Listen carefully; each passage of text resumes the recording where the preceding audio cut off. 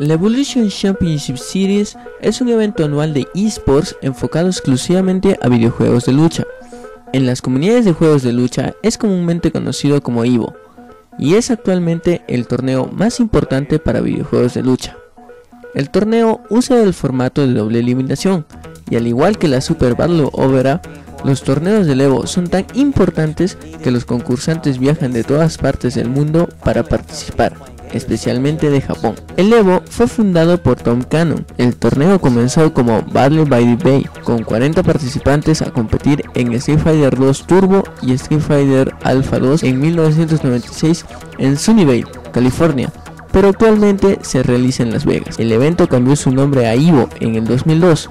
Con el tiempo, el evento creció tanto que en 2009 registró la cantidad de más de mil participantes, Originalmente el torneo utilizaba las máquinas recreativas o arcade, pero en 2004 se tomó la decisión de trasladar todos los juegos a sus versiones de consola. Actualmente se usan las versiones de PlayStation 3. El Evo 2013 fue anunciado el 2 de diciembre del 2012 y se llevaría a cabo del 12 al 14 de julio en el Hotel París, en Las Vegas. El 8 de enero, Joey Cuellar anunció que el Evo 2013 tendría 8 principales videojuegos de competición los 7 primeros totalmente revelados.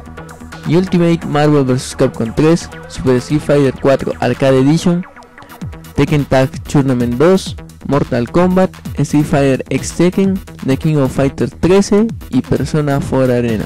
El octavo juego fue votado por los jugadores a través de donaciones en línea, donde todos los ingresos fueron donados a la investigación del cáncer de mama. El eventual ganador fue Super Smash Bros. Mini con 94.683 dólares recaudados, mientras que la cantidad total de donaciones fue de 225.744 dólares. Y pues, Nintendo se opuso inicialmente a que el torneo fuera transmitido por los canales oficiales de stream del Evo, cediendo poco después. El 7 de mayo del 2013 fue anunciado Injustice, God Among Us, un videojuego principal para el torneo, expandiendo la lista de videojuegos a competir a 9. En Super Street Fighter 4 Arcade Edition tuvimos un nuevo campeón, se trata de Kun Shang Ho, conocido como Shang, y su imparable gen.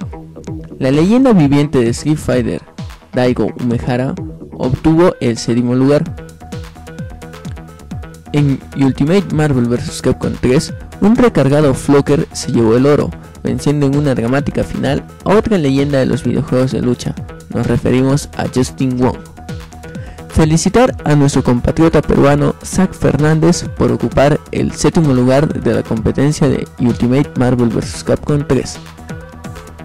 En Injustice God Among Us dominaron totalmente los americanos, siendo 7 de los 8 mejores, Philip Atkinson, alias KDZ, y Superman lograron vencer en una dramática final. En Super Smash Bros. Melee, Mango y su devastador Fox pudo resurgir de las cenizas del lower bracket para derrotar al aclamado Wolves y sus Ice Climbers en una final de infarto. También mencionar y felicitar a Juan de Vietma, alias Hungry de nacionalidad argentina, y a su Jigglypuff por ocupar el tercer puesto. En The King of Fighters 13, Reinald Taxon pudo hacerse con el campeonato después de derrotar a su rival japonés Hee Sang-woo. José Navarrete, alias Romance, representante de México, logró ocupar el séptimo puesto en esta categoría. En Street Fighter X Tekken, la versión de 2013, veríamos otra vez a la leyenda Justin Wong tratando de llevarse el campeonato en esta categoría, sin éxito alguno contra el surcoreano Infiltration. La leyenda de los videojuegos Alex Valle con su Yoshimitsu y Lars pudo ocupar el cuarto lugar. En Tekken Tag Tournament 2, el surcoreano Keith In derrotaría a su rival americano Bronston para quedarse con el campeonato. En esta categoría predominó la presencia americana, aunque el campeón fue surcoreano. En Mortal Kombat, otro videojuego donde la presencia americana predominaría, Denzel Terry y su devastador Cyrax sería quien dominaría a sus adversarios para derrotar en la final a Giuseppe Grosso y un agresivo Cabal. En Person 4 Arena, Tanto americanos como japoneses disputarían totalmente los 8 mejores puestos de este videojuego, pero sería Yume, el representante de Japón con Aegis, quien derrotaría a Lord Knight para coronarse campeón.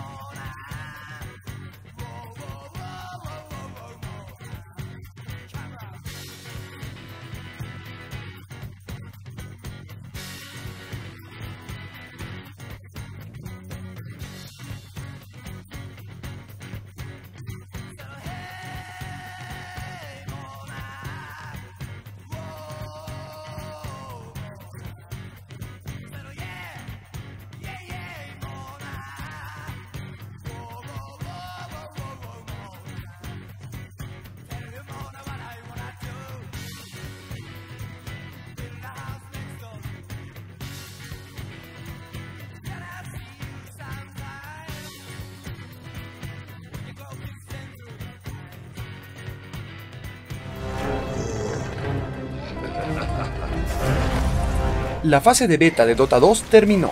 Ahora cualquiera puede jugarlo creándose una cuenta en Steam. Si bien ya había obtenido los títulos como el juego más jugado en Occidente y el juego con más usuarios jugando al mismo tiempo con una cifra de más de 300.000 jugadores, ahora esas cifras que serán más después de haber terminado la fase de beta. Esto llevará a que estos nuevos jugadores también aumenten el premio del International 2013, porque de seguro comprarán el compendio para aumentar el pozo del premio. Esperamos que esto no afecte nada a la comunidad, aunque muchos de los usuarios están molestos por la gran cantidad de noobs, quitters, haters, etc. que de seguro llegarán al juego. Bueno, solo queda esperar y ahora todos a divertirse con Dota 2.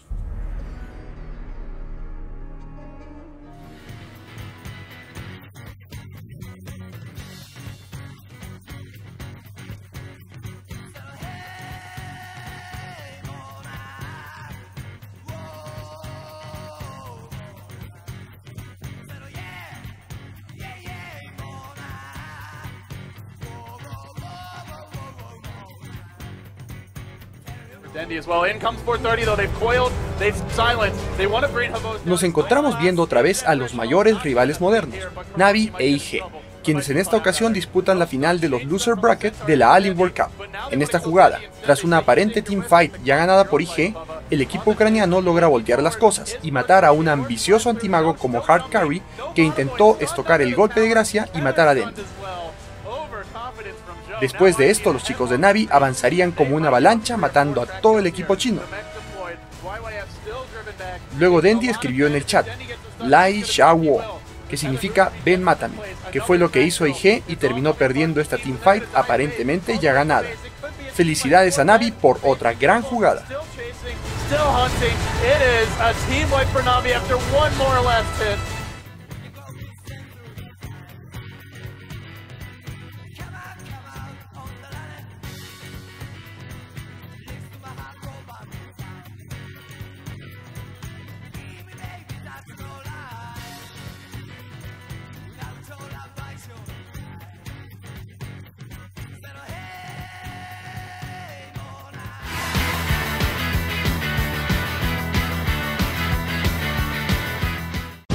Of Galaxy del juego de cartas coleccionables de Yu-Gi-Oh! ¿Quieres un impulso tecnológico futurista para tu mazo? Tú puedes añadir las máquinas del mañana a tu mazo hoy. Lord of Galaxy, disponible ya. Los sobres se venden por separado. Konami.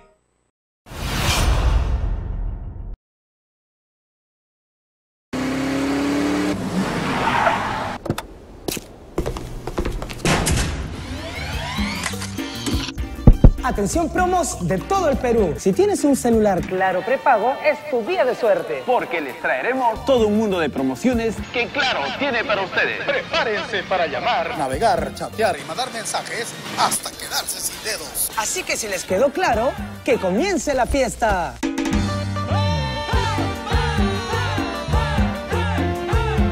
Si eres Claro prepago, eres promo.